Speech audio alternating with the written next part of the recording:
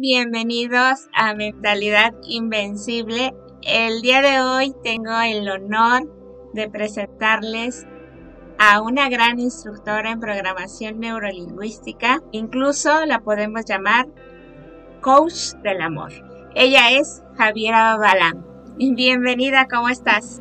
Muy bien, muchas gracias, muchas gracias a todos, bienvenidos. Muchas gracias, Jalil, por invitarme a tu programa. La verdad es que eh, me encanta poder hacer eh, programas contigo, no es la primera vez, ya hemos hecho algún otro, otro programa, otros, otras transmisiones y me encanta. Muchas gracias por la invitación. el día de hoy queremos compartir con ustedes el tema comunicándome mejor con mi pareja. ¿Qué es aquello que tengo que cuidar para poder llevar esa relación en unos mejores términos, en disfrutar el tener una pareja, el bendecir que tienes una pareja y no por el contrario que se convierte eso en un conflicto, en una bola de nieve que no puedes detener.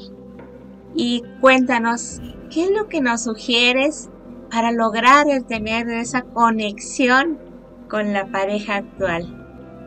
Bueno, punto uno, primero saber qué es lo que yo quiero, ¿no? ese es un punto importante porque me ha tocado trabajar, por ejemplo, con, con, mujeres sobre todo, que me dicen es que apenas terminé una relación de pareja y ya quieren iniciar otra relación de pareja, ¿no? Entonces tú dices, bueno, a ver, eh, un momento, tranquilízate, porque ni siquiera sabes lo que quieres. Y como no sabes lo que quieres, el universo, Dios, como tú lo quieras ver, te va a presentar lo que sea. Entonces, cuando ya tienes más claro lo que quieres, ok, ya, quiero tener una relación de pareja.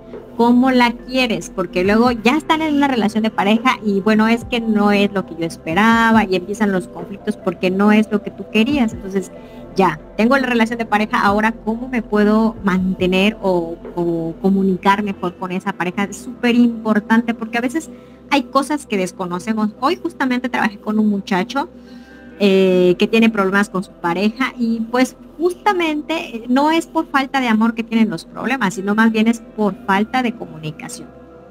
Sí, que hay ocasiones que no sabemos definir qué es lo que realmente queremos y también cómo le expresamos eso que deseamos que nuestra pareja ponga atención y decimos una cosa y damos a entender otra. Claro, siempre les pongo el ejemplo de la basura, ¿no? Es que tú nunca sacas la basura, ¿no? Clásico de la mujer, le reclama su pareja. Y el hombre, el, el, hombre siempre se toma las cosas muy literal. Si tú le dices, nunca sacas la basura, el hombre dice, nunca. O sea, pero si hace dos días y la saqué, ¿no? Entonces ellos creen que entonces estás tú dejando de verlos como ese caballero con, con su armadura que te va a venir a rescatarlos. Estás criticando y los estás queriendo corregir siempre como si fueran tus hijos, ¿no?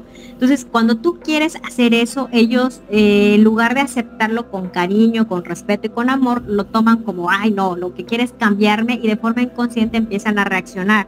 Entonces, a, lo mejor la, persona realmente no le interesaba tanto, la mujer no le interesaba tanto que sacara la basura, sino que a lo mejor no se estaba no se estaba sintiendo ella respetada por el acuerdo que él está violando o por la, eh, las, los acuerdos que, que establecieron al principio de la relación.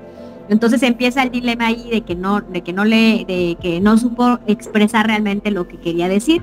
Y todo empezó por la basura, ¿no? Y entonces se hace mucho, pero mucho más grande el problema cuando realmente lo que ella quería decir es que no estaba cumpliendo él con los acuerdos y que ella no se sentía respetada y valorada por no cumplirlos, mientras ella por su parte sí estaba haciendo la parte que le corresponde.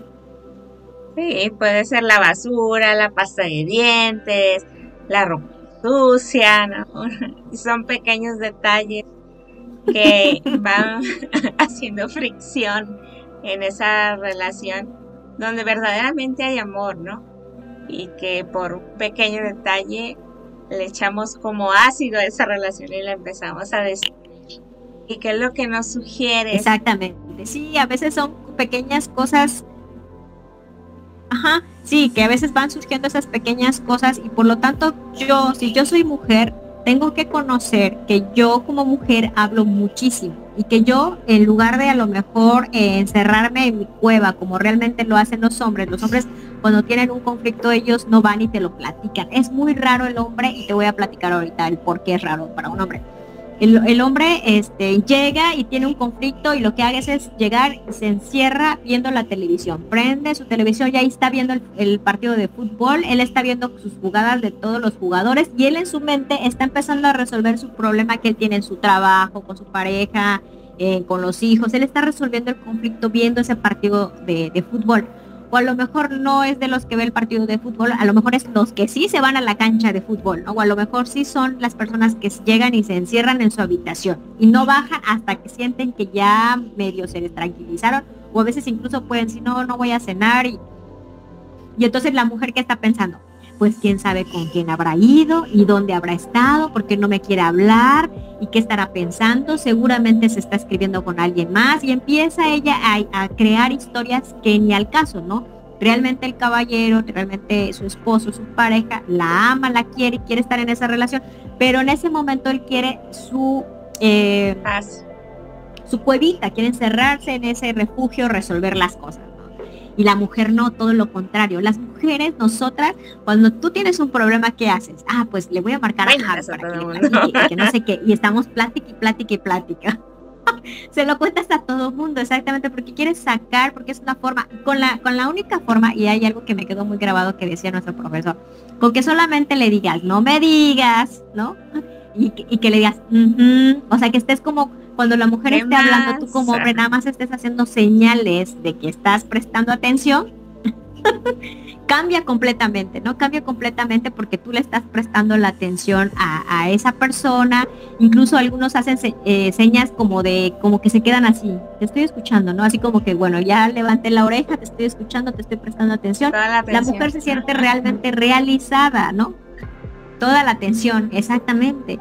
Y también es válido nosotras como mujeres comprender que ellos no siempre van a estar, estar en la disponibilidad de escucharnos, porque ellos no hacen eso. Ellos como hombres, o sea, ellos están buscando soluciones y no están pensando en, que quieres sacar una emoción, en que quieres eh, sacar tu ira, eh, tu impaciencia, que quieres eh, tu inconformidad, sino más bien ellos buscan la solución. O sea, estás impaciente con esto, pues entonces resuélvelo haciendo ejercicio. O sea, te están dando sugerencias, soluciona ese conflicto y tú nada más lo único que querías era sacar la emoción que estabas sintiendo en ese momento. Entonces, por eso es muy importante el que yo como mujer pueda comprender cómo son ellos en situaciones de conflicto y cómo somos nosotras como mujeres. Y también comprender que no siempre nos van a poder escuchar y darles y respetar un poco. Eh, su, espacio, su privacidad, recuperar su autonomía ellos y de cierta forma ellos recuperan un poquito de su, de su independencia al refugiarse en su cueva. Y respetar su manera de ser, porque a lo mejor él es muy introvertido y tú eres bien espontánea, entonces cada uno tiene su propia personalidad, ¿no? Exactamente, y algo que acabas de mencionar mucho, a ver, y que, y que comenté que te iba a mencionar ahorita, que sucede que a veces cambiamos, cambiamos las, las, los, eh, las personalidades de cierta forma para no causar conflicto. Por ejemplo, si un, eh, si un caballero llegaba a su casa y hacía lo que normalmente hacen los hombres, de que se encierran en su cueva, lo que hacen ahorita, como empiezan a sentir presión de las mujeres, ellos empiezan a hablar, pero ya no lo hacen porque ellos quieren o porque es su naturaleza hablar, sino lo hacen para no tener conflicto con la mujer. Entonces, ¿qué es lo que pasa? el hombre llega el momento en que explota porque no es su naturaleza. Exactamente, para evitar problemas dices, no, pues para que mi esposa no me diga que no le platiqué cómo me fue en el día, voy y le platico mi día, le estoy platicando mi día, pero entonces ya no deja de ser él, ¿no? O sea, ya no está haciendo su, naturaleza, es de encerrarse y resolver. Y yo como mujer sí hablar. Las mujeres, ¿qué pasa? Como hablamos mucho y a veces eh, tu esposo te juzga o te, o te da sugerencias y tú realmente no quieres ni siquiera que te dé cómo resolver la situación, te fastidia y te cansa de que tu esposo siempre te esté dando sugerencias, que te quiera cambiar o que quiera aportar algo a la situación, solucionarlo, y tú, tú entonces dejas de hablar y ya no hablas dices, pues, ¿para qué le digo? Si le digo y me va a estar diciendo que por qué no hice esto, me va a estar juzgando, mejor ya no le platico. Entonces tu naturaleza de hablar lo dejas de hacer para no causar un conflicto. Entonces los papeles se invierten y finalmente, ¿qué es lo que pasa? Dejan de ser ellos y va a llegar el momento en el cual explota la situación, de que ya no se pueden contener porque su naturaleza es de ella de hablar y el del caballero es de guardarse y refugiarse en su pueblo. Sí, se, se amargan, decimos, y después nos cuestionamos y por qué se enoja tanto y por qué llega tan molesto, porque no lo dejamos ser, pues. Sí, exactamente. No dejamos que, fluya la relación, tratamos de, estar ahí con la persona. Otro punto importante es saber darles, eh, no eh, cuando está el conflicto, no tratarlos de buscar físicamente, porque cuando una mujer se ha enojado, generalmente ahí va y lo acaricia, ay, no te enojes, y se pone a su lado y, está como muy atenta. Y no, eso hace que el, caballero se enoje más, porque, bueno, ya me hiciste enojar y ahora, ¿por qué vienes y me tratas de contentarlo? O sea, dale su espacio hasta que él se estabilice. De hecho, se, podemos decir que se compara mucho en el caso como, como una, una liga. Tú has visto que una liga cuando la estiras, la estiras y hasta donde más no, da, la sueltas. ¿Y qué es lo que pasa? Avanza, ¿no? Enormemente. O sea, da un salto completamente la, la liga porque ya dio todo lo que tenía y después la sueltas y con esa energía se avanza, ¿no? Lo mismo sucede en una relación de pareja, ¿no? Si tú le dejas a, esa persona que se estire, se estire, se estire, va a llegar el, y tú lo dejas eh, lo sueltas, va a llegar el momento que va a avanzar más la relación de pareja porque justamente tú le das, le estás dando todas las posibilidades, ¿no? A lo mejor estás comprendiendo que necesita su espacio, estás comprendiendo que tú como mujer necesitas ser más específica en lo que tú quieres, cuando quieras cambiar a la persona, eh, no tratar de cambiarla por ti, sino hacerle sugerencias, ¿no? ¿Sabes qué? Es que no me gusta, si tú le dices a una persona, es que se te ve fea esa playera, o sea, la persona que va a pensar, no, pues qué mala onda, porque me dice que no. O sea, a lo mejor le podrías decir, me gusta más cómo se te ve esta camisa azul con este pantalón negro, ¿no? Por decirlo. Y la persona va a decir, sí, ah, bueno, pues se lo va a poner. O, ¿sabes qué? Me gustaría que la próxima vez que vayas de compras por ropa, yo te acompañe y te ayude a elegir algo lindo para ti. La persona va a decir, sí, claro. A lo mejor te diga que no, y tú vas a decir, bueno, no lo puedes obligar en este momento, pero vas a ayudarle de tal forma a que él te dé oportunidad de sí poderle cambiar su forma de vestir, pero sin que tú lo quieras cambiar como que tú estás queriendo imponer, ¿no? sino tratar de em, convencerlo, ¿no? De, que cambie, pero por porque él así lo decida, que no sienta que fue una obligación, ¿no? Como cuando tú vas a comprar lo que tú quieres, no sé, te vas a comprar un refrigerador nuevo y a lo mejor van y entonces este tú quieres uno, te gusta este de dos puertas, el grandote, el más este color plata y a lo mejor él quiere otro más sencillo, ¿no? Quiere pues uno más de color negro, más chiquito y todo.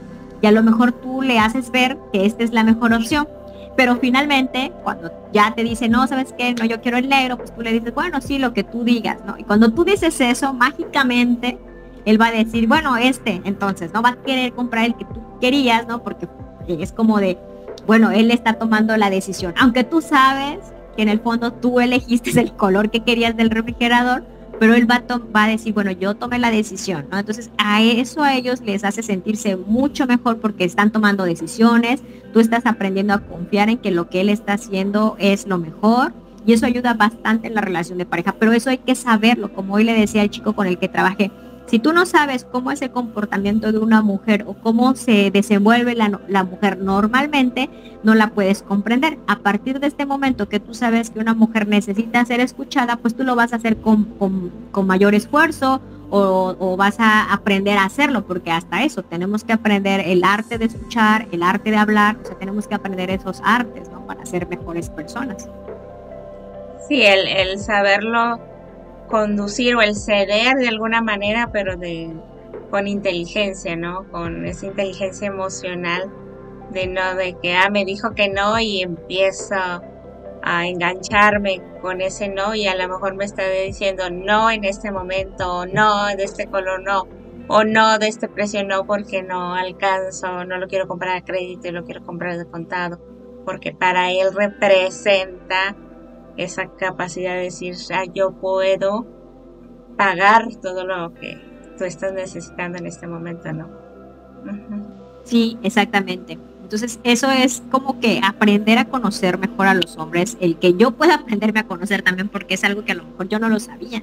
O sea, yo no me daba cuenta que antes a lo mejor hablaba mucho y ahora en mi relación de pareja ya no hablo tanto, pero porque él empezó a juzgar mucho mis pláticas, o a lo mejor yo sentía que no me prestaba la atención y entonces yo mejor dejé de ser como era mi naturaleza, ¿no? De hablar y viceversa, a lo mejor el hombre completamente ya no, ya no se encierra en su cueva, a lo mejor habla mucho y tú dices, ay, bueno, ya que se calle, ¿no? Porque ya han invertido completamente en los papeles, ¿no?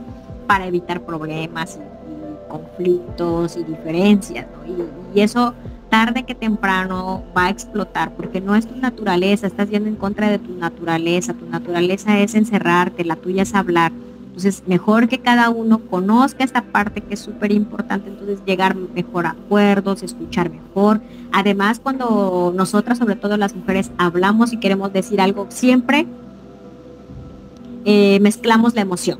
O sea, siempre es algo porque yo no me siento a gusto, porque, pero a veces, como te decía, decimos las cosas de manera muy eh, determinante y los hombres se lo toman muy literal. Si tú dices, es que nunca salimos de paseo entonces, y él, como nunca salimos de paseo, hace el fin de semana anterior te llevé al cine, ¿no? Como que nunca salimos de paseo. Lo que ella quería decir, esta semana no hemos salido de paseo. O me gustaría este sábado que me lleves a cenar, que es completamente diferente a que tú le digas, nunca salimos, ¿no? Entonces el hombre como que nunca, y entonces empieza el problema porque dicen, bueno, pues sí hemos salido, y entonces si o sea, eso es importante para nosotras comprender que cuando digamos algo, tratar de ser lo más claras posible, lo más concisa, tratar de entender primero yo qué quiero dar a entender, qué quiero em, eh, comunicarle a mi pareja para que sea mucho, mucho, mucho, pero mucho más fluida la comunicación entre ambos. Y permitirle que él demuestre como sus capacidades o su amabilidad, porque a lo mejor, por ejemplo, vas a un negocio y tú llegas empujando la puerta, ya sé que tienes brazos, que puedes abrir esa puerta, pero deja que Él lo haga por ti, deja que Él demuestre la manera de protegerte, la manera de ser amable, la manera de prestarte esa chamarra, ese suéter, algo, hay detallitos que ellos hacen, o el colocar un garrafón, cuestiones que implican fuerza, o simplemente el ir a matar una araña. ya sé que como mujer lo puedes hacer, pero si tú le cedes ese lugar, esos pequeños momentos, y se lo reconoce, le dices gracias por tu fuerza, gracias porque trabajas tanto, gracias porque has ayudado en el hogar, le reconoces lo que sí hace bien, pues vas a empezar a que esa relación funcione de mejor manera, eso creo. No, estás en, sí, muy, muy, muy, cierto lo que acabas de decir. Y eso me hace recordar una historia de, de un caballero que este caballero, pues tú sabes, ¿no? Los caballeros que van y rescatan a las princesas y que están en su castillo, las princesas, y que a lo mejor este caballero va cruzando por un castillo y se encuentra una princesa que está pidiendo auxilio, que porque hay un dragón dentro de su castillo. Entonces va este caballero, la rescata con su espada, mata al dragón y, feliz, la, la, la, princesa, ¿no? Se va, se casa con este caballero, llegan al pueblo donde habita, donde es este, este caballero y todos felices, celebran celebran con un gran triunfo el que este caballero haya rescatado a la princesa y, el que mató al dragón, Entonces, eh, al poco tiempo, este caballero se va de viaje. Cuando regresa otra vez al castillo, ya hay otro dragón atacando a la princesa.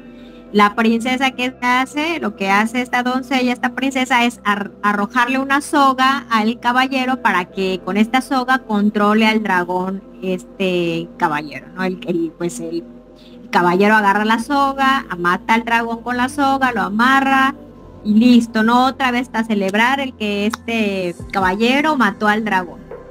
Se vuelve a ir el, caballero, regresa el caballero, otra vez están atacando a la, a la princesa por, por el dragón, por otro dragón, y ahora ella le, le avienta eh, veneno para que le dé al dragón para matarlo. Entonces el caballero empieza a cansarse, ¿no? Pues ¿cuál es el trabajo del caballero, no? Usar su espada, pero ella le está dando, ah, que le dio primero la soga, ah, ahora le da el veneno. Entonces él ya no se siente tan a gusto porque como que ya no celebra las victorias porque ella le está resolviendo todo, ¿no? Entonces, cuando se decide este caballero por última vez a cazar dragones y eso, se va y encuentra por allá en otro castillo a una princesa gritando que necesita auxilio y que está gritando porque la está atacando un dragón, va y rescata a esta princesa y ya nunca más regresa al otro castillo. Se queda con la última mujer a la cual rescató. Entonces, esta historia, justo lo que tú dices, a lo mejor tú puedes poner ese garrafón de agua porque tienes la fortaleza, a lo mejor tú puedes cambiar esa llanta de tu auto, a lo mejor tú puedes hacer esas cosas, pero si tú le permites que él siga utilizando su espada, está recuperando su poder, está haciendo las cosas que a lo mejor como hombre se siente satisfecho, se siente feliz, al que tú te sientas como protegida, ¿no? Justamente de ese dragón, al cambiar la llanta, al poner el garrafón de agua, a lo mejor en que te abra la puerta, como tú bien dices. Entonces, esta historia me encantó de verdad porque muchas veces así lo hacemos, queremos como solucionarle las cosas y dejamos que cosas pequeñas, cosas sencillas que a lo mejor ellos les hacen ser esos caballeros, tú termines destruyendo esa parte, ¿no? Y después se va con otra princesa y ahora tú dices, ah, bueno, pero ¿por qué me dejó? Y, empiezas con ahora a criticar el por qué justamente terminaron la relación. Sí, otro caso que se da es lo comienzas a tratar como si fuera tu hijo, como si fuera un niño, y le indicas, y acomódate la camisa, y lávate las manos, y lo traes en un constante mandándole, diciéndole qué es lo que debe de hacer cuando en realidad tiene esa capacidad de, decidir, matamos a ese hombre y nos apropiamos como si fuera un niño que no sabe qué hacer en cuestiones así tan simples de lavarse las manos antes de comer o cuestiones. Sí, todo queremos corregirlos, ¿no? Como que ves algo que no te gusta y lo primero que queremos hacer es perfeccionar, porque nosotras somos así, siempre queremos lo mejor y queremos trabajar en nosotras, nosotras somos las primeras que quizás empezamos a trabajar en nuestra persona. Y entonces tú quieres que esa persona también sea como tú, de cierta forma, que lea, que... Pero cada persona es diferente, tú la conociste de cierta forma, hay que ver qué me atrajo de esa persona, qué es lo que ahora en este momento no me está disgustando qué me molesta de la otra persona, ¿no? De qué puedo mejorar yo a través de esa persona, qué me está reflejando esa persona. Como tú dices, hay personas adultos, personas 40, 50 años o más quizás, que tienen todavía eh, un comportamiento infantil, ¿no? Pero hay que ver también y comprender qué hay detrás. O sea, puede ser una situación de la infancia que ellos no tuvieron una infancia feliz, se quedaron atorados con ese, en esa parte de, la infancia, eh, y a lo mejor eh, son hombres que ya tienen familia y se, a lo mejor se la pasan, llegando del trabajo, se la pasan jugando, ¿no? Sus videojuegos y se compran los juegos más grandes y su televisión grandota para seguir jugando o sea, son cosas y actitudes que hace un niño, pero hay que ver por qué lo hace. O sea, quizás sea una forma de desestresarse, qué tan frecuente lo hace también, lo hace porque él quiere o lo hace porque es algo que, no trabajó, es un niño herido que tiene también por ahí y eso también hay que poderlo comprender y entender, ¿no? Y yo me estoy tomando un papel que no me corresponde, ahora que veo al niño yo me quiero tomar el papel de, que, de que yo soy la mamá de mi, de mi pareja y ahora yo quiero corregirlo, quiero que se vista como yo quiero, quiero que se siente como yo quiero, quiero que todo lo que yo quiero sea como yo quiero. Entonces, cuando nosotros hacemos eso, pues la persona se va a cansar, porque lo que un hombre espera de su pareja es, admiración y aceptarlo tal y como es, confianza, ¿no? Eso para ellos son los puntos principales que necesitan, el que yo pueda confiar en, mi pareja, ¿no? Generalmente a veces las mujeres, de la falta de seguridad o no me siento tan guapa como, como para esa persona, hace pensar que a lo mejor puede estar coqueteando con alguien más y entonces yo le estoy criticando y entonces en lugar de que esa persona realmente se sienta cómodo, a gusto contigo, empieza a decir, ah, bueno, pues no confía en mí, no está pensando en que tú eres insegura, está pensando en que no está confiando en mí, está dudando de que yo soy, soy una persona honesta y entonces empieza. Y finalmente como decimos, no una profecía autocumplida, porque lo que tú pensabas efectivamente sucede, porque tú causaste que esa persona se fijara en alguien más, le llamara la atención otra princesa y vaya a rescatar ahora a esa persona y eh, decide terminar la relación, ¿no? Pero, pero fue una parte, una contribución de cierta forma tuya también. Sí, o, o en ocasiones también él te platica eso que vivió de niño esas cuestiones dolorosas y cuando resulta un conflicto, un problema, lo primero que le echas en cara ah, por eso te trataba así tu padre, por eso, y le empiezas a echar en cara algo que a lo mejor todavía no puede resolver o que está en ese proceso de resolver, y lejos de ayudarlo a sanar ese niño, pues lo hundes más, ¿no? Exactamente, o a veces la queremos hacer como tú dices, de terapeuta para nuestra pareja, ¿no? Y sobre todo hay personas que hemos trabajado en nuestra persona, hemos tomado cursos, hemos asistido a talleres y tú quieres rescatarlo, pero ¿cuándo te pidió que lo rescataras tú? O sea, ¿cuándo te ha dicho, oye, te contrato como terapeuta, ¿no? O sea, no olvidemos de tratar de cambiar a las personas, olvidemos de tratar de decir como indirectas, no sabes qué es que este libro, es que esto, es que esta conferencia, es que aquello, no, no, no. O sea, tenemos que aprender a aceptar a la persona como es si realmente quieres estar con ella. Yo no estoy diciendo porque también tanto uno como la otra persona siempre tenemos cosas que mejorar y a través de tu, de tu pareja puede servirte mucho para tu crecimiento si lo ves de esa forma, ¿no? Ya no lo empiezas a criticar, aceptas a la persona, tú dices, bueno, esta relación me va a hacer crecer hacia dónde, hacia dónde me dirijo. Y entonces los dos van a crecer siempre y cuando los dos estén de acuerdo. Aunque ahí dicen muchos, es que lo único que necesita para una buena relación es el amor. No es cierto. Hay personas que realmente se aman, pero si no hay una buena comunicación, confianza, respeto, que yo pueda... Eh, confiar también en mí misma, en mi trabajo personal, el que yo trabaje en mi persona, eso me va a ayudar mucho más. Si para una persona que ha trabajado en sí misma le cuesta de repente trabajo encontrar una pareja o de repente le cuesta trabajo comunicarse con su pareja, imagínate a una persona que no tiene ni idea de nada de estos temas, o sea, que no comprende nada, es mucho más difícil. O sea, la, la cuestión es como mil veces más difícil. ¿Por qué? Porque no sabe controlar sus emociones, no sabe si está, eh, su niña herida está saliendo a luz, o sea, no sabe si, si es una cuestión de sus parejas anteriores, alguna cuestión que no trabajó con las parejas anteriores y ahí se quedó, no sabe si todavía tiene y está cargando energía de sus relaciones anteriores.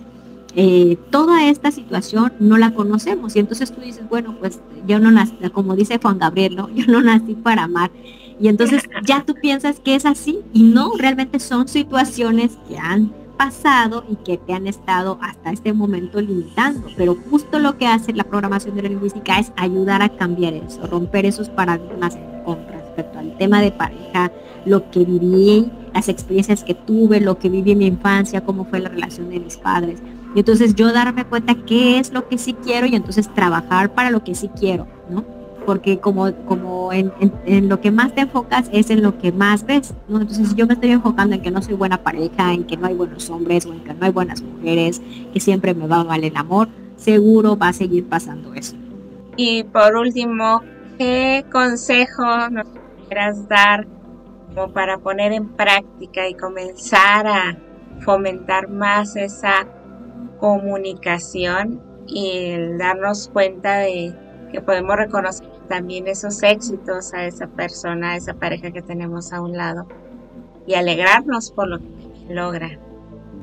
Bueno, yo diría los tres puntos principales sería trabajar en mi persona, eh, conocer mejor a la otra persona a través de ella, me voy a conocer mejor también yo. Y la tercera es de eh, prepararme para, para ser mejor persona. Es decir, si yo estoy leyendo sobre el tema, a lo mejor en la parte sexual con mi pareja no, me, no va tan bien, entonces a lo mejor me pongo a investigar esos temas, me pongo a prepararme de esos temas. Si no me sé comunicar mejor, voy a, voy a investigar cómo comunicarme mejor con mi pareja. O sea, de que tu mente se expanda. Cuando tú le metes información a tu cerebro, tu cerebro tiene opciones y entonces tu cerebro busca dentro de todos los archivos que ya le pusiste la mejor solución para llevar mejor esa relación de pareja, para llevar esa mejor comunicación con tu pareja. Entonces creo que esos tres puntos son los principales, ¿no? Que porque aparte te ayuda a no apegarte en esa relación de pareja. Cuando tú estás en, en constante búsqueda, leyendo, estudiando, viajando, conociendo gente, tu, tu, mente está feliz, tu mente está viva, tienes proyectos, tienes sueños y eso te hace a incluso una persona mucho más atractiva, dejas los apegos atrás y disfrutas realmente la relación sin miedo, que eso es lo importante. Cuando empiezas a disfrutar la relación sin miedo, todo va a fluir de la mejor manera, te lo aseguro. Pues muchísimas gracias, Javi. Te agradezco infinitamente por esta oportunidad de poderte escuchar. Nos vemos y seguimos en contacto para escucharte. Veo tus palabras, escucho tu abrazo y siento tu sonrisa. Gracias, Javi.